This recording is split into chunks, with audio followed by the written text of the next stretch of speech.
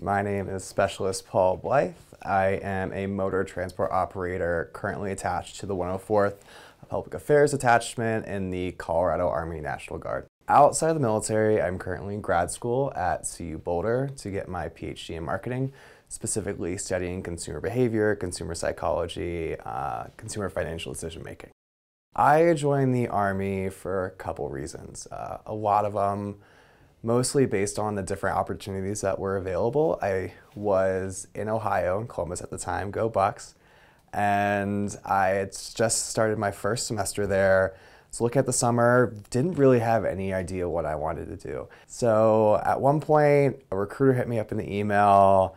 I fell for it. I said, why not? Let me give it a shot. Went to basic training that summer wasn't really interested in motor transportation either. Just thought I'd go for it. Um, and it not only supported me in school, helping me financially afford school out of state, um, giving me a stipend, giving me a paycheck, as well as multiple opportunities to deploy um, and make some money that way, but also leadership and development training, job training. I learned valuable skills that I think I'd never really learned to do anywhere else. And from there, it kind of just drove my career.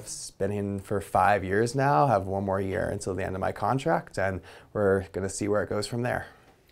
And from there, I was not into fitness, not into wellness or eating right or whatever. And next thing you know, like I'm running two miles. I'm doing sets of push-ups, more than 50. I'm doing sit-ups. I'm doing chin-ups. I'm rucking 20 kilometers. I'm picking up weapon systems that I've never thought I could touch before and qualifying. I'm public speaking, and that was something I was always afraid to do. Um, working in teams with people with different ability levels, different cultures, different backgrounds.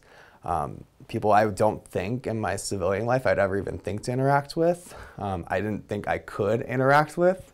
Uh, and the Army has not only grace I wouldn't say gracefully, it's forced me through all those stigmas I had against myself and really crushed a lot of those negative beliefs. And I think that's been great for me.